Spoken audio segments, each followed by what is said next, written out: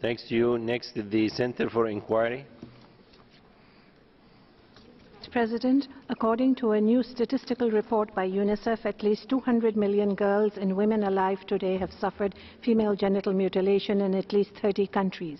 While primarily a practice that was limited to Africa and the Middle East, FGM has more recently found its way into the West, being practiced in certain immigrant communities. According to the Population Reference Bureau, more than half a million women and girls are at risk of undergoing FGM in the United States or abroad, or have already undergone the procedure, including 166,000 under the age of 18.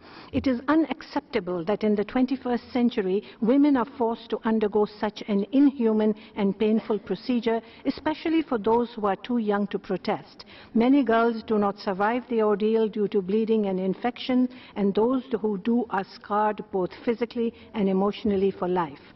The human rights of those unable to protest must be protected by those of us who can. This Council has a mandate to do just this, and we thank you for the Vienna Declaration. Therefore, Mr. Vice President, we urge the Council to make FGM an international criminal offense so that governments and individuals can be held accountable for allowing FGM to continue. Thank you.